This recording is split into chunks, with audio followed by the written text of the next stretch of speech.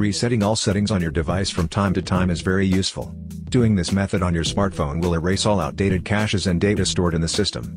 But unlike to factory data reset, no need for you to create a backup with all your files and data, because only the outdated caches and data that triggers minor issues will be removed from the system.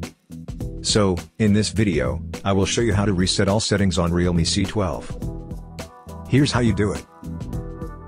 From the home screen, open the app drawer. Look for settings and tap on it. Scroll down and look for additional settings and tap on it. Scroll down again and look back up and reset and tap on it. Now, tap erase all data. Look for system settings only and tap on it. Tap reset system settings only. Now, read the instruction, and if you want to proceed, tap reset system settings only. This procedure will take for a minute or two, wait until the process is complete. After the reset you can use again your device. That's it, I hope this tutorial helps. Please subscribe to our channel and hit the notification bell for more videos. Thanks for watching.